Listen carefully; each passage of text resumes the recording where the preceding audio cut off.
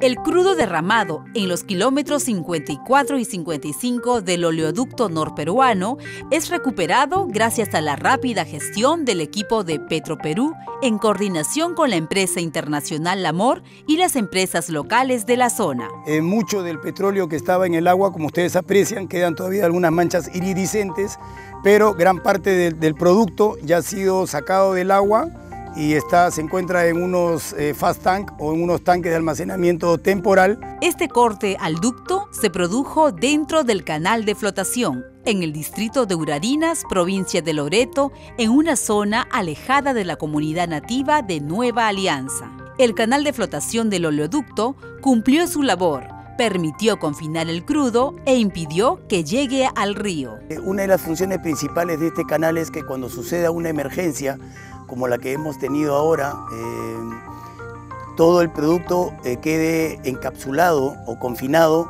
en este canal de flotación, el cual tiene tapones a ambos lados para evitar que salga alguna quebrada y posteriormente al, río y evitar la contaminación. Esto no es ninguna quebrada natural, que muchas veces cuando vienen a filmar dicen que se ha contaminado las quebradas donde todo el mundo justo venía a pescar acá. Por supuesto que hay vida acá, vida acuática en esta zona, pero no es porque sea una quebrada natural, sino, repito, es un canal de flotación.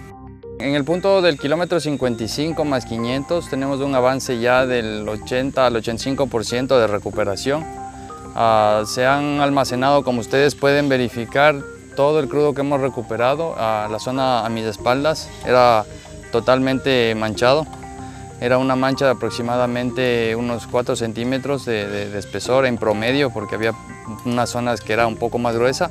Todo está recuperado en cilindros, como pueden observar, y la zona a mis espaldas que ya está prácticamente limpia.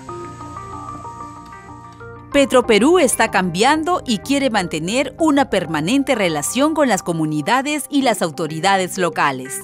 Eh, estamos contando al momento eh, con personal obrero, que son 130 personas, de los cuales todos son aquí de la comunidad de Nueva Alianza, eh, y la mitad de ellos están a cargo de una empresa que se llama INMAC, es una empresa internacional argentina, y la otra mitad está con una empresa comunal que se llama Petroalianza, neta de acá de la zona de, donde nos encontramos ahorita, de la comunidad nativa de Nueva Alianza. No se tiene en realidad una conciencia, una, una capacitación de, de una conciencia real de cuál es el, el, el, efecto negativo que ellos, que ellos están, están sufriendo. Ya lo estamos haciendo.